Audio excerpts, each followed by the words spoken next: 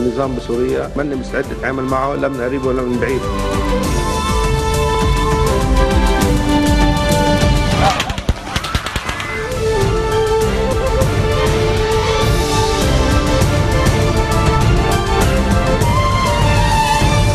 أهلا بكم إلى الصباحية من تلفزيون المستقبل وفي العناوين. السعودية هي حريصة جدا على الاستقرار في لبنان. الحريري يطلع مجلس الوزراء على أجواء زيارته الإيجابية للرياض. إسرائيل عوضا عن الحرب بتقوم بهذه الضربات بالأراضي السورية. تأهب في إسرائيل بعد التصعيد الأخير وأسئلة تطرح عن مستقبل الوضع في المنطقة. إيران عرضت تدريب عناصر القاعدة في معسكرات حزب الله مقابل ضرب المصالح الأمريكية في الخليج العربي. أهلا بكم. رفع جيش الاحتلال الإسرائيلي حالة التأهب في صفوف قواته ونشر بطاريات القبة الحديدية ومنظومات دفاعية أخرى في أنحاء المدن بحسب قناة تلفزيونية إسرائيلية. وأوضحت أن رفع حالة التأهب جاء بسبب التوتر الأمني على الحدود مع قطاع غزة إثر تفجير نفق على حدود القطاع الاثنين الماضي وتهديدات فصائل فلسطينية بالرد على ذلك. وأشارت إلى أن الجيش الإسرائيلي يخشى أيضا ردا سوريا أو قيام حزب الله أو جماعات تتبع لإيران بإطلاق صواريخ من الجولان بعد تقارير تحدثت عن غارات إسرائيلية استهدفت مواقع في سوريا. مراقبون قللوا من شأن تصاعد وتيرة التهديدات وأكدوا أن إسرائيل لجأت إلى مثل هذه الضربات تعويضا عن شن حرب مفتوحة على لبنان. تقرير شهير إدريس. ترتسم العديد من السيناريوهات حول ما تسعى إليه إسرائيل من خلال استهدافها مواقع سورية من الأجواء اللبنانية والتي كان آخرها الغارة الإسرائيلية التي استهدفت منشأة بمنطقة حسياء الصناعية في ريف حمص ليعلن بعدها الجيش السوري أنه تصدى للطائرات الإسرائيلية باستهدافها بصاروخ أرض جو فيما المعلومات الإسرائيلية أشارت إلى استهداف مقاتلاتها مصنعا سوريا للأسلحة. المراقبون والخبراء العسكريون يرون أن إسرائيل تقوم بهذه الضربات الضربات عوضا عن شنها حرب كبيرة في المنطقة تكون بوابتها من لبنان. لكن لا أعتقد أن لإسرائيل أي مشروع لحرب شبيهة بأي شكل بحرب 2006 إسرائيل تخشى أن أن حزب الله يبادر بعمل عسكري. لكن على الحدود اللبنانية الإسرائيلية المبادرة شبه مستحيلة بسبب 1701 إسرائيل عوضا عن الحرب بتقوم بهذه الضربات بالأراضي السورية لأنه إذا بتضرب بالأراضي اللبنانية يمكن تكون first strike أو عم تفتح الجبهة وبتخرق القرار 1701 ولا إسرائيل إلى مصلحة آه، آه، الحرب وتنهمر عليها. الصواريخ مش بس اللبنانية ال ألف صاروخ يمكن صواريخ أرض أرض سورية ساعتها. حدا بيعرف؟ بيستبعد بنسبة كبيرة كتير. تفوق ال 95% بس دائما لأنه مثل ما قلت لك في توازن رعب هذه الضربات تزامنت مع قصف إسرائيلي استهدف نفقا شرقي خان يونس إضافة إلى تطورات سياسية تمثلت بزيارة الرئيس الروسي فلاديمير بوتين إلى إيران. توازيها أيضا العقوبات الأمريكية على حزب الله وما كشف عن بناء إسرائيل لجدار على الحدود الجنوبية اللبنانية. آه، روسيا تلعب دور وهو دور بآن واحد الذي يحالف ويضبط. وعلاقة روسيا بإسرائيل جيدة. الطيران الإسرائيلي ما بقى يحلق فوق الأراضي السورية. من وقت اللي دخلت روسيا في الحرب وراح نتنياهو على موسكو أفهم من قبل بوتين أن الأجواء السورية لم تعد مستباحة إطلاقا. لا لك ولا لغيرك بدون إذن. وبالرغم من تقليل الخبراء لإمكانية شن حرب إسرائيلية ضد لبنان إلا أن إسرائيل تعمل بكل قوتها على إعاقة قدرات إيران على العمل بحرية في سوريا لا سيما في الجولان وتقليص النفوذ الروسي للحد من قدرة روسيا على تعزيز موقف إيران من خلال تقديم الدعم لنظام الأسد. وفي واشنطن أظهرت الوثائق الجديدة التي نشرتها وكالة الاستخبارات الأمريكية المركزية. أظهرت بأن إيران عرضت على تنظيم القاعدة المال والسلاح وتدريب عناصره في معسكرات حزب الله في لبنان مقابل ضرب المصالح الأمريكية في السعودية والخليج. يوما بعد يوم تتكشف طبيعة العلاقة التي تربط تنظيم القاعدة بالنظام الإيراني. وهذا ما كشفته نحو 470 ألف وثيقة جديدة لزعيم تنظيم القاعدة أسامة بن لادن نشرتها وكالة الاستخبارات المركزية الأمريكية بعدما ضبطت من المجمع الذي كان يختبئ فيه بن لادن بمدينة أبوت أباد الباكستانية عندما هاجمته قوات البحرية الأمريكية وقتلته في العام 2011 هي الدفعة الرابعة من الملفات التي تتضمن مذكرات يومية كتبها بن لادن بخط يده إضافة إلى رسائل سرية ومقاطع فيديو وملفات صوتية وغيرها من المواد. ولكن أهمها وثيقة من 19 صفحة بينت العلاقة الوثيقة التي تجمع إيران بالقاعدة. اللتين لا يبدو أنهما في حال حرب بل ترتبطان بمصالح مشتركة خصوصا لجهة العداء للولايات المتحدة. إذ كشفت تلك الوثائق عن عرض قدمته إيران لتنظيم القاعدة لتمويل التنظيم وتوفير الأسلحة وتدريب أعضاء من القاعدة في معسكرات حزب الله في لبنان مقابل ضرب التنظيم للمصالح الأمريكية في السعودية والخليج.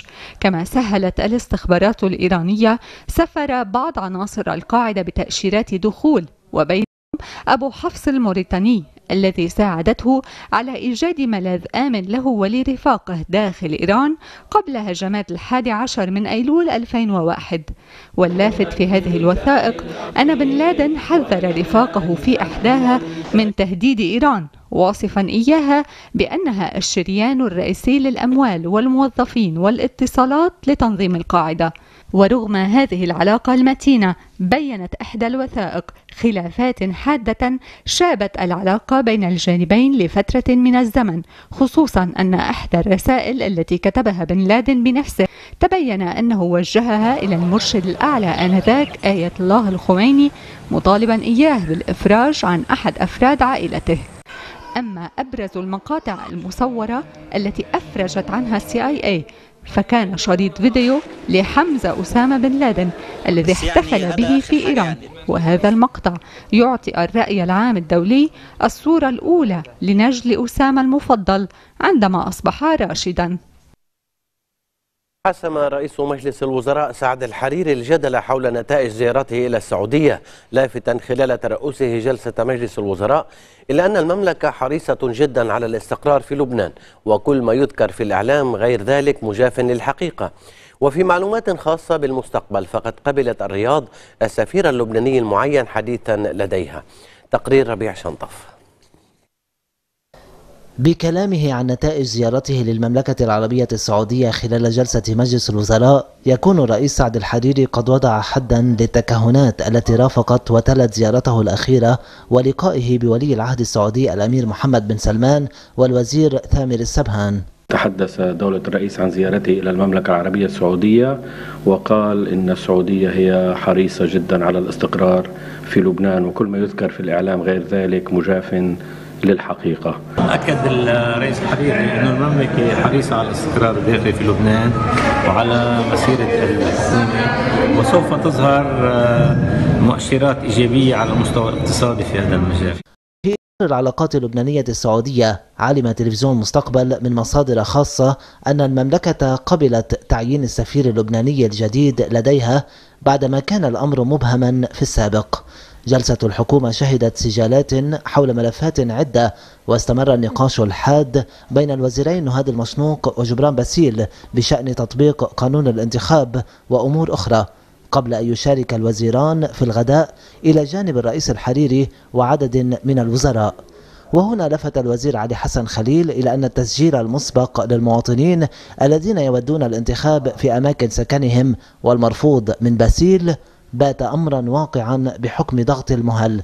هذا الضغط تطرق إليه أيضا مدير مكتب الرئيس الحريري السيد نادر الحريري في دردشة مع الصحفيين داعيا إلى الاتفاق داخل لجنة تطبيق قانون الانتخاب علما أن اللجنة سوف تجتمع مجددا الجمعة. وبحسب المعطيات فقد تم خلال الجلسة الاتفاق على استبدال سفير لبنان في الفاتيكان بسفير لبنان في الأرجنتين وذلك بسبب رفض الفاتيكان للسفير اللبناني المعين لديها حديثا من قبل وزارة الخارجية. ومجددا غابت تعيينات تلفزيون لبنان فيما أقر جدول الأعمال بالكامل ومن ضمنه بند إنتاج الطاقة الكهربائية عبر الرياح في منطقة عكار. وفي هذا الشأن لفت وزير الطاقة سيزار أبي خليل إلى أنه سيتم إعطاء ثلاث رخص لثلاث شركات في عكار لإنتاج 200 ميجاوات. في قصر بعبدة التقى رئيس الجمهورية ميشيل عون وفدا من جمعية المصارف اللبنانية برئاسة جوزيف طرابي الذي أعلن عن تلقي القطاع المصرفي اللبناني تأكيدات أمريكية عن أن هذا القطاع غير مستهدف بالعقوبات المفروضة على حزب الله طالما هو يتقيد بالإجراءات الدولية للعمل المصرفي. الموضوع الهام يلي بيهم لبنان وبيهم اللبنانيين هو موضوع العقوبات الذي لا يزال يتفاعل على الصعيد التشريعي العقوبات على حزب الله الذي هو موضع مداولات مستمرة لهذه العقوبات التي لا شك أنها تؤثر على لبنان وتؤثر على الأوضاع في المنطقة وتؤثر على الحزب. هناك تشدد كبير بالنسبة لهذا الموضوع من الإدارة الجديدة الأمريكية الجديدة سنبقى دائما نسعى لمنع الضرر عن القطاع المصرفي وتلقينا تأكيدات بأن القطاع المصرفي اللبناني غير مستهدف إطلاقا بهذه العقوبات طالما هو آه، يتقيد بقواعد الامتثال الجارية سابقا. شدد رئيس كتلة المستقبل النيابية الرئيس فؤاد السنيور على أن لبنان لا تمثله مجموعة حزبية مؤكدا أن ما جرى في قضية خلية العبدلي أمر مرفوض. وفيما أعرب السنيور في حديث إلى صحيفة الرأي الكويتية عن أمله في أن ينجح الرئيس ميشيل عون والذي يزور الكويت بعد غد أن ينجح في أن ينقل صورة صحيحة عن لبنان أكد أن تدخل حزب الله في سوريا وفي مناطق أخرى من العالم العربي يخلق أجواء غير ملائمة ومخاطر كبيرة ولا بد للبنان أن يدرك أن له مصلحة حقيقية في التعاون بينه وبين أشقائه العرب. وأضاف السنيورة نحن نشكو من وجود العدو الإسرائيلي ولكن يجب أن نعيد للدولة اللبنانية حضورها وصدقيتها في التعامل مع مواطنيها ومع العالم لا سيما العالم العربي. وتتابعونا في النشرة بعد الفاصل. دفع تعويضات مزارعي التفاح للعام 2016 في عرسال واللبوي.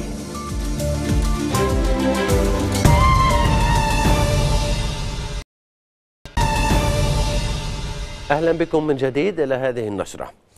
تربويا نفذت نقابة المعلمين في اضرابا تحذيريا يوم أمس احتجاجا على دفع الرواتب وفق الزيادات التي لاحظتها سلسلة الرتب والرواتب. وقد حذرت وقد حذرت النقابة من اللجوء إلى تصعيد جديد إذا لم تلبى المطالب. هكذا كانت المدارس الخاصة اليوم. ملاعب وصفوف فارغة من طلابها بعد الإضراب الذي نفذته نقابة المعلمين في المدارس الخاصة احتجاجا على عدم دفع الرواتب على أساس سلسلة الرتب والرواتب المستحقة نهاية شهر تشرين الأول الماضي. إضراب التزمت به معظم المدارس الخاصة باستثناء عدد قليل منها إذ لم يلتزم بعض الأساتذة بقرار نقابتهم خوفا من أي إجراءات قد تتخذها إدارة مدارسهم بحقهم. نقيب المعلمين رودولف عبود الذي شكر الأساتذة على تعاونهم. أكد أن التصعيد مستمر إذا لم يتجاوب المعنيون مع مطالبهم. نحن جاهزين نقعد يصير في اتفاق مع كامل اتحاد المؤسسات التربوية ومع احترامنا للأمانة العامة للمدارس الكاثوليكية نقابة المعلمين نقابة لكل المعلمين بلبنان. من أول مدرسة لآخر مدرسة جغرافيا ما فينا نحن يعني نجاوب على مبادرة على صعيد نقابة المعلمين صادرة عن مدارس كاثوليكية. عملوا معروف كاتحاد مؤسسات تربوية ومدارس إفرادية. اسمها مع بعض المدارس تستفرد بمعلمينا. وهذا الشيء ما رح نقبله. نحن عاطين يعني ماكسيموم كنا قايلين للخطوات التالية كمان أكثر وأكثر بعد جمعتين وعلى الأكيد قبل آخر شهر تشرين الثاني نتأمل الحوار يتفعل بشكل رسمي.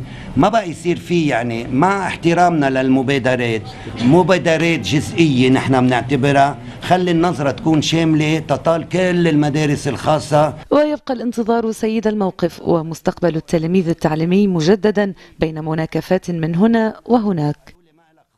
المنافسة الانتخابية التي رافقت عملية التصويت في الجامعة اليسوعية تجلت بتجدد الإشكالات بين طلاب القوات اللبنانية وحركة أمل. مارون ربيح أنا مسؤول حركة أمل قلت له مبروك. بس ما بدك تنهانا عرضنا بشرفنا أبعد الله ما خلاه يا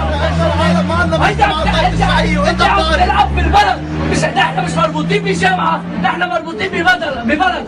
انت أكثر واحد حركة أمل. مين بتعرف الطائفة الشيعية. الانقسام السياسي الذي طبع الانتخابات الطلابية في جامعة القديس يوسف لم يقف عند حد ظهور النتائج. مرة جديدة تندلع سجالات بين طلاب على ضفتي نقيض في السياسة. فمسؤول طلاب حركة أمل في الجامعة يظهر في هذا الفيديو الذي حصل عليه تلفزيون مستقبل يتوعد طلاب الجامعة وإدارتها بمجرد المساس بمن تمثله الحركة وبيئتها في الجامعة. وانت بعد انت اللي كل رفقاتك شيعيه وبتعرف لما حدا من الشيعه ينهار من سبت شو بيصير. بس إحنا محترمين الجامعة نحن بنحترم الطائفة المسيحية بس نحن بقلب الجامعة وقت بدنا ننهان ساعتها يقولوا لنا الجامعة فله بفكرنا على فوز ممثلي قوى الرابع عشر من آذار في عدد كبير من كليات الجامعة فندتها مصلحة الطلاب في القوات اللبنانية في بيان استغربت فيه اختلاق أرقام غير موجودة للحصول على انتصار وهمي. القوات التي استندت إلى الجداول والأرقام التي نشرت أشارت إلى أنها فازت مع حلفائها بإحدى عشرة كلية مقابل أربعة للتيار الوطني الحر وحلفائه وخمسة كليات للمستقلين. قطاع الشباب في التيار الوطني الحر رد على النتائج التي عممت معتبرا أنها طرحت بطريقة مشوهة للحقيقة. في بيت الوسط تعرض رئيس مجلس الوزراء سعد الحريري مساء أمس مع حاكم مصرف لبنان رياض سلامي الأوضاع النقدية وشؤونا اقتصادية. وكما التقى الرئيس الحريري قائد الجيش العماد جوزيف عون واستعرض معه الأوضاع الأمنية وشؤون المؤسسة العسكرية. ثم استقبل الرئيس الحريري المدير العام للأمن العام اللواء عباس إبراهيم وعرض معه الأوضاع الأمنية في البلاد. الأمين العام للهيئة العليا للإغاثة اللواء الركن محمد خير يوزع الدفعة الثانية من المساعدات للمتضررين من مزارعي التفاح في بلدتي اللبو وعرسال في البقاع. ممثلا رئيس مجلس الوزراء سعد الحريري تفقد الأمين العام للهيئة العليا للإغاثة اللواء الركن محمد خير مشروع تأهيل طرقات بلدة عرسال وورش الأشغال في مشاريع البنية التحتية في البلدة كما أشرف على توزيع الدفعة الثانية من المساعدات للمتضررين من مزارعي التفاح في بلدتي اللبو وعرسال للعام 2016 الخطة الانمائية القادمة يلي هي قيمتها 15 مليون دولار ويلي وعد فيها الرئيس وطلع فيها مرسوم مجلس الوزراء مصر عليها وماشيين فيها واللي هي مبدئيا تم التوافق على إنشاء مستشفى وثانوية وترميم أحد المدارس وشبكة طرقات وشبكة مياه وتعزيز الكوة الكهربائية وربط الطرقات ببعضها مع كافة القرى المجاورة. الإسراع بدفع تعويضات الكرز اللي اليوم الأهالي بأمس الحاجة لهالمساعدة بأول هالشتوية. آه، واليوم عم بينفذ أشرف آه، سيادته اليوم على تنفيذ الطرقات اللي عم تتنفذ اليوم بعرسان آه، نتمنى كمان يعني زيادة هالكمية الحجيري شكر الرئيس الحريري على دعمه البلدة التي تحتاج إلى الكثير من المشاريع. رد رئيس بلدية صيدا محمد السعودي على الحملات التي استهدفت البلدية مؤخرا تحت عنوان مشكلة عوادم من أفيات معمل صيدا. وقال السعودي إن البلدية بصدد إيجاد مطمر صحي بمواصفات بيئية متكاملة حصرا لمشكلة العوادم المتراكمة. نحن حددنا شو الطريقة اللي بنعملها اللي هي نفس الطريقة اللي عملنا فيه الجبل القديم في كان حملات على بلدية صيدا وغرضها يعني تقويس وهلأ بدها تزيد التقويس خصوصا يعني نحن مقبلين على انتخابات. استطاع نادي هومنتمان اللبناني تحقيق لقب بطولة الأندية العربية لكرة السلة بصعوبة كبيرة وذلك بعد فوزه في المباراة النهائية على حساب صاحب الأرض والجمهور نادي سلا المغربي. وتعليقا على الفوز غرد الرئيس سعد الحريري على حسابه على تويتر قائلا ألف مبروك لفريق الهومنتمان وإحراز البطولة ونحو مزيد من التألق والنجاح تستاهلوا أكثر. في النشرة أيضا بعد الفاصل. المعارضة السورية ترفض رسميا المشاركة في مؤتمر سوتشي.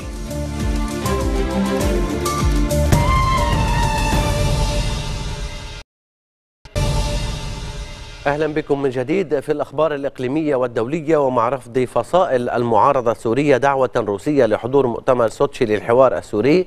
ما هو الهدف غير المعلن لهذا المؤتمر بحسب المعارضة؟ تقرير غيدا جبيلي هجوم روسي دولي مزدوج تسعى إليه موسكو من خلال دعوة الائتلاف الوطني للمعارضة السورية للمشاركة في مؤتمر سوتشي للحوار السوري المقرر في الثامن عشر من تشرين الثاني الجاري. المعارضة السورية رفضت هذه الدعوة معتبرة أن خطة روسيا ليست إلا محاولة للالتفاف على مفاوضات جنيف في إطار الأمم المتحدة للتوصل إلى تسوية سياسية لأزمة سوريا. هناك 25 جهة هي أحزاب كرتونية أنشأها النظام وأنشأتها مخابرات النظام السوري وهناك أيضا آه، آه، جهات خمس جهات تقريبا ليست بعيدة عن النظام في آه، مواقفها وبالتالي فعلا هو حوار بين النظام وأشباه النظام ولا وجود للمعارضة في هذا الإطار، هذا إذا لم نتطرق أيضا إلى صلب الموضوع الذي سوف يتم تناوله لأنه الروس قالوا انهم سيطرحون مسألة الدستور وهذا جزء من مفاوضات آه، جنيف وبالتالي هو التفاف على آه، جنيف. وأيضا الجانب الروسي يسعى بشكل متكرر الآن لتجاوز الأمم المتحدة وتجاوز قرارات مجلس الأمن وتجاوز المرجعية الدولية.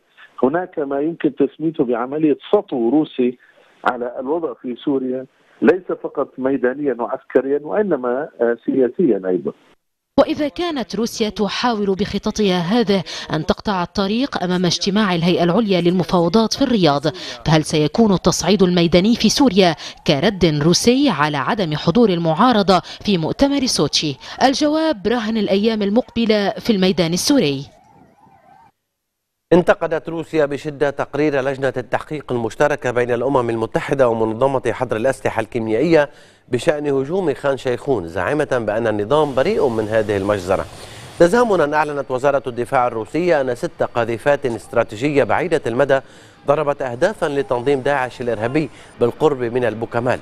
واستهدفت الضربة الجوية مستودعات للأسلحة ومخابئ للمعدات العسكرية إضافة إلى مراكز قيادة تابعة للإرهابيين. حذرت حكومة إقليم كردستان العراق من أن الخلاف الحالي على نشر القوات العراقية في المناطق المتنازع عليها وعند المعابر الحدودية قد يؤدي إلى قتال ويعود بكارثة على العراقيين. ونفت الحكومة تراجعها عن أي اتفاق مبرم بين الوفدين العراقي والكردي بسبب عدم توقيع أي اتفاق بين الجانبين. وكان إقليم كردستان اقترح نشر قوات مشتركة مع بغداد عند معبر الحدودي مع تركيا تحت إشراف مراقبين من التحالف الدولي. في السويد قالت وسائل اعلام محلية بأن انفجارا ضرب مدخل ملهى ليلي في مدينة مالمو من دون ورود معلومات عن سقوط ضحايا ونقل موقع ديلي ستار الإنجليزي أن انفجارات عدة أعقبت الانفجار الأول والذي وقع عند مدخل الملهى ولم يتضح بعد سبب الانفجار وفق المصدر نفسه الذي أشار إلى أن الشرطة هرعت إلى الموقع وعملت على تطويق المكان. في ختام النشرة هذا تذكير بالعناوين. السعودية هي حريصة جدا على الاستقرار في لبنان. الحريري يطلع مجلس الوزراء على أجواء زيارته الإيجابية للرياض. إسرائيل عوضا عن الحرب بتقوم بهذه الضربات بالأراضي السورية. تاهب في إسرائيل بعد التصعيد الأخير وأسئلة تطرح عن مستقبل الوضع في المنطقة. إيران عرضت تدريب عناصر القاعدة في معسكرات حزب الله مقابل ضرب المصالح الأمريكية في الخليج العربي. بهذا نأتي إلى ختام النشرة إلى اللقاء. النظام بسوريا من مستعد يتعامل معه لا من قريب ولا من بعيد.